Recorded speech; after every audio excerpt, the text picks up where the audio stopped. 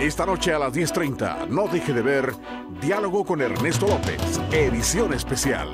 A mí un candidato presidencial de Arena, y me voy a reservar el nombre, me contó que le habían prohibido platicar conmigo, así como estoy seguro que le prohibieron platicar a, Norman con Toño Salaverría. Esta es una reunión de sector para hacer una propuesta a una fórmula presidencial, no era una reunión político partidaria, ni mucho menos una reunión de apoyo. no, estoy hablando de la reunión con ellos únicamente. Esos comentarios que yo he oído solo me recuerdan cómo Arena devora a aquellos que no están de acuerdo con la cúpula. Se dice, Salaverría se pasa al FMLN. No, es una deformación de la realidad que mata la inteligencia. No se pierda Diálogo con Ernesto López, edición especial, solo aquí en Canal 21. Tome el control.